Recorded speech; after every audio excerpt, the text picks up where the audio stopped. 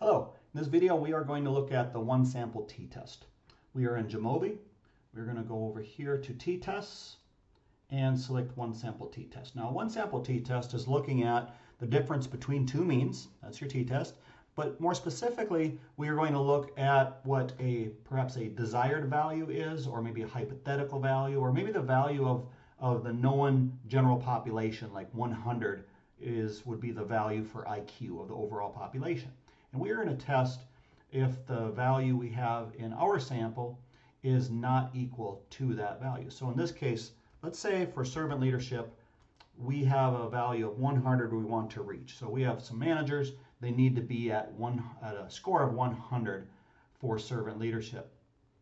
We'll go ahead and select our value, move it over to dependent variable, and then I'll click also descriptives. We can see here that the mean score of our sample is 89.7.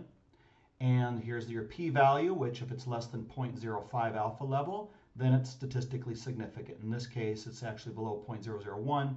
It is significant, meaning 89.7 is significantly lower than 100.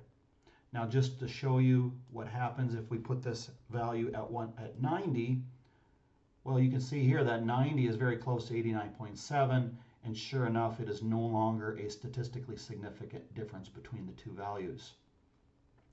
Two other simple little features here in Jamovi is you can also test if the value is going to be greater than your test value or if the value is going to be less than your test value. In this case, we just wanted to see the two tails, two directional, to see if it's just not equal to our test value.